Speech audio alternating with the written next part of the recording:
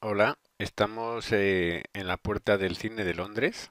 Eh, vamos a ver cómo eh, funciona y como ven una clase en directo, en tiempo real, una clase de inglés. Vamos a acercarnos, como ven, toda la zona es, se parece a Londres, con sus monumentos, su historia, astronomía, etcétera. Y vamos a dirigirnos, aquí tienen los Beatles, y nos vamos a dirigir despacio sin hablar.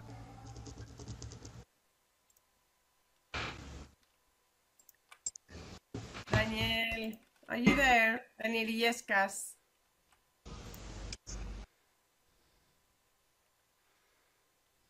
Daniel is sleeping. So let's continue with Fanny. Can you tell me, Fanny, which ones are uh, in passive?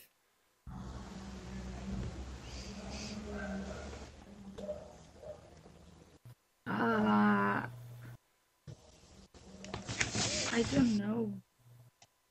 Passive, it means that you have a verb to be and a verb in ing next to it. Is when somebody else does something for you. Uh, okay.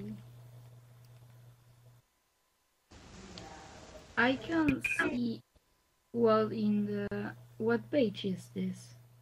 This is page 78. Page 78, number one. Okay.